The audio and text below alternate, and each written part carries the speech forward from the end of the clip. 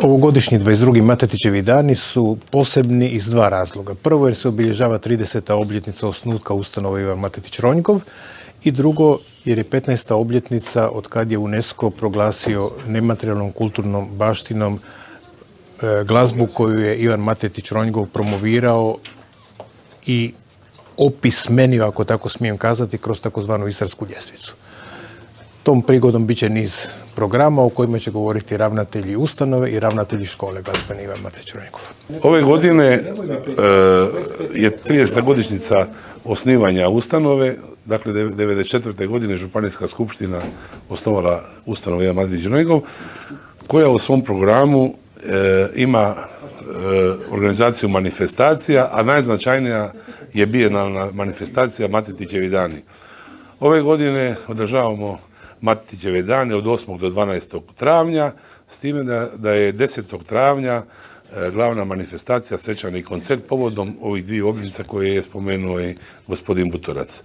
Koristim priliku da pozovem širu publiku da dođu poslušati koncert jer je vrlo interesantan program. Zastupili smo e, nekoliko skladatelja iz Istre i, tu naših primorja s naglaskom na Ivana Matlića Ronjigova. Tu su i Matko Brajša Rašan, Slavko Zlatić, Josip Kaplan, Dušan Prašelj a e, ansambli koji će izvoditi te skladbe su različiti. Od solista imamo klaveristu, imamo solo pjevača, imamo e, komorni trio, puhački kvartet i zborove i klape.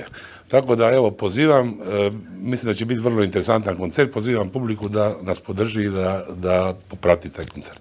Glazbena škola Ivana Matetića Ronjgova Rijeka s ponosom nosi ime tog našeg primorskog barda koji je zaslužan da se kultura, pogotovo glazbena, glazbena kultura, tradicijska glazba, ostane, ostane zabilježena, a na glazbenoj školi je upravo da obrazuje mlade glazbenike koji će danas sutra to njegovo nasljeđe prenositi, prenositi dalje.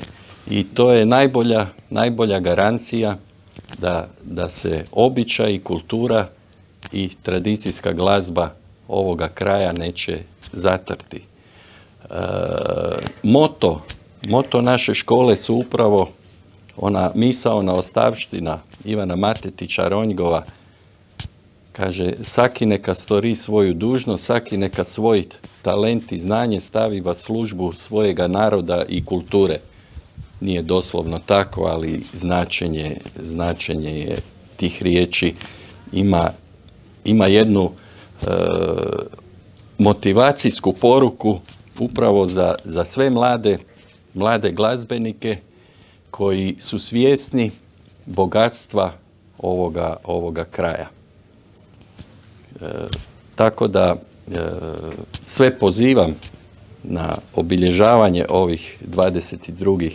Matetićevih dana i na sva događanja, sve koncerte koji će se od 8. do 12. travnja održati u našoj e, guvernerovoj, guvernerovoj palači